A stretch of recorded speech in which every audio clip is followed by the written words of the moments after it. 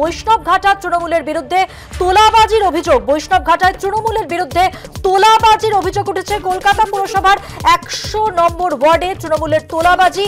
দোকানে গ্রিল লাগাতে গেলে দু লক্ষ টাকা চাওয়ার অভিযোগ।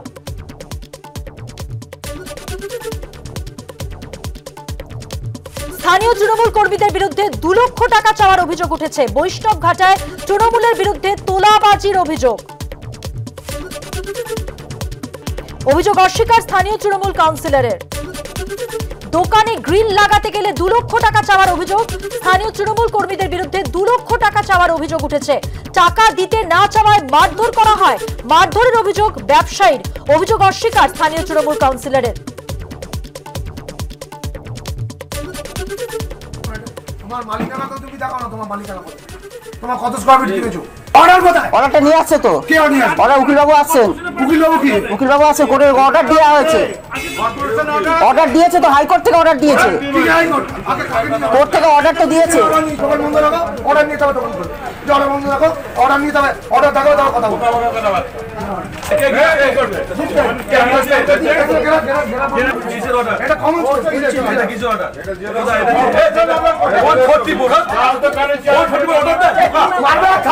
অভিযোগকারী দেওয়া ভিডিও আপনাদের সামনে তুলে ধরলাম। আরও বিস্তারিত তথ্য জেনে নেব। সরাসরি কথা বলছেন বলবেন আমাদের প্রতিনিধি আবির দত্ত। আবির একটা বিষয় আমরা দেখতে পাচ্ছি যে এখানে দু লক্ষ টাকা তোলা চাওয়া হচ্ছে। কারা তোলা চাইছে? ঠিক কি অভিযোগ? ব্যবসায়ী যিনি যিনি অভিযোগ করেছেন তিনি ঠিক কি বলছেন? তার বক্তব্য কি?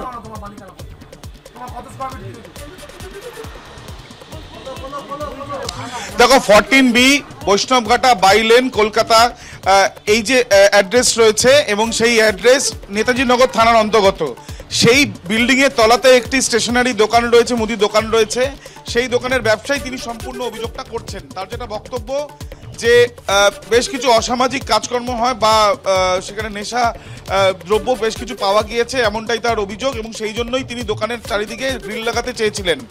গ্রিল লাগাতে চাওয়াতে আজকে বেশ কয়েকজন আসেন যারা তৃণমূল কংগ্রেসের সেখানকার কর্মী বলে ওই ব্যবসায়ীর দাবি। এবং তারা এসে দু লক্ষ টাকা চায় এবং তারা এসে বলে যে গ্রিল লাগাতে দেওয়া হবে না। এবং তারপরে তাদের তারা কিন্তু তাকে ধাক্কা মারে, তাকে মারধর করে, এমনটাও তার অভিযোগ। তিনি লিখিতভাবে ইতিমধ্যে নেতাজিনগর থানাতে বিষয়টি জানিয়েছেন। এরপর আমরা যোগাযোগ করি স্থানীয় কাউন্সিলর, একশো নম্বর ওয়ার্ডের প্রসেনজিৎ দাস তার সঙ্গে। তিনি স্পষ্ট- স্পষ্টভাবে যেটা জানান যে ওই যে জায়গায় গ্রিল লাগানো হচ্ছিল, ওটা কমন প্যাসেজ যে বিল্ডিং এর তলায় দোকান রয়েছে, সেই বিল্ডিং এর আবাসনের লোকজনই এসে পার্টি অফিসে জানায়, তাই পার্টির লোকেরা তাকে বোঝাতে গিয়েছিল। কিন্তু কোনো জায়গাতে দু লক্ষ কেন? কোনো টাকাই চাওয়া হয়নি। এবং তার সঙ্গে সঙ্গে কোনো অসামাজিক কাজ বা মত্ত যুবকদের কোনো উৎপাত কোনো কিছুই নেই। কিন্তু তারপরেও এই ধরনের যে অভিযোগ করা হচ্ছে, সেটা সম্পূর্ণভাবে ভিত্তিহীন, এমনটাই স্থানীয় কাউন্সিলর জানাচ্ছেন। পুলিশের সঙ্গে আমরা যোগাযোগ করেছিলাম পুলিশের তরফ থেকে বিষয়টি খতিয়ে দেখা হচ্ছে বলে জানা হচ্ছে জানানো হচ্ছে।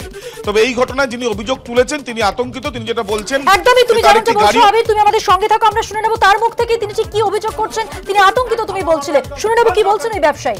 রাত্রিবেলা এখানে মদ্যক মা- মা- মাদক টাদক পাওয়া যায় এই দোকানের সামনে কেউ ব- বসে। তো সেই প্রেক্ষিপ্রেক্ষিতে আমি এটা চারদিক দিয়ে ঘিরতে চাইছিলাম আমার এই গ্রিল গ্রিল লাগিয়ে। দোকানটা আপনার দোকান আমার নিজের। কিন্তু ওনারা এবং ওনার বাড়ি ওপরে যে আপনার চৈতালি বলে একজন আছেন ল্যান্ড ওনার ছিলেন ওনারা হ্যাঁ এবং আরও কয়েকজন মিলে। তা আমি এর এগেনস্টে আমি হান্ড্রেড ফর্টি ফোরও করেছিলাম। তা এবার আজকে সকালবেলা লাগাচ্ছিলাম এবং তৃণমূলের তৃণমূলের আপনার হচ্ছে বুম এবং আরও কয়েকজন না মিলে এবং এখানকার একজন প্রমোটার তার নাম হচ্ছে গোপাল কুন্ডু এ বলেছেন যে এখানে গ্রিল লাগাতে পারবেন না। হ্যাঁ তাই আমি বললাম যে আমার কোর্টের অর্ডার আছে। এই ভিত্তিতে কি করল? কোর্টের অর্ডারটা কি উনি ছিঁড়ে দিলেন? বলল আমরা আইন আইন আইন ইয়ে মানি না। আপনি আপনি লাগাতে পারবেন না এবং আপনি যদি দু লক্ষ টাকা যদি দেন তাহলে আমি এটা দু লক্ষ টাকা কিসে দিতে দু লক্ষ টাকা ওনার হাতে দিতে হবে। কাগজ ছিঁড়ে দিয়েছে ওই বুমের হাতে দু লাখ টাকা দিতে হবে। পুলিশকে আমি ডেকেছিলাম ফোন করে। কিন্তু পুলিশ এলো এসে কিছু করল কীভাবে ডাকলেন? থানায় ফোন করে না একশো আমি থানায় থানায় ফোন করে। নেতাজি নগর থানায় ফোন করে আমি ডেকেছিলাম কিন্তু কোনো স্টেপ কিছু নিলেন না। না ওটা কোনো ওটা কোনো কথা না। এখানে তো সবাই বাস করে মানুষ। এখানে ভদ্র পরিবেশ। এটা ভদ্র পরিবেশ ভদ্রবেল এলাকা। কার সঙ্গে কার ঝগড়া নেই কার সঙ্গে কোনো বিবাদ নেই। এরা এখানে দোকানদারি করে ভালো কথা। তো সবার সঙ্গে তো একটা মাধুর্য রেখে কিছু কাজ করবে সবার সঙ্গে মিল করে চলবে। তাদের সঙ্গে কোনো যোগাযোগ নেই। এরা নিজের মন মতন যোগাযোগ তার দোকান তার দোকানটা সে নিজের দোকান করবে। তার জন্য তো সে দে- ওটা কমা এটা হলো কমন প্যাসেজ ফ্ল্যাটটা হলো কমন দলিলে লেখা আছে কমন প্যাসেজ সেটাতে গো- তার এটা তো অধিকার নাই সেই এটা আটকাবে। পুরো প্যাসেজটা আটকাবে প্যাসেজটা সবার জন্য। প্যাসেজটার জন্য তাকে বারণ করেছে প্রথম। বারণ করেছে তার অবজেকশন ছেলেটা যে প্রমোটার সে নিজে এসে বলছে তোমাকে আমি দোকানটা রেজিস্ট্রি করে দিয়েছি। তোমাকে তো আমি পুরো প্যাসেজটা তোমাকে দিনে গ্রিল আটকে দে। আপনি এটা ভেঙে দিয়েন।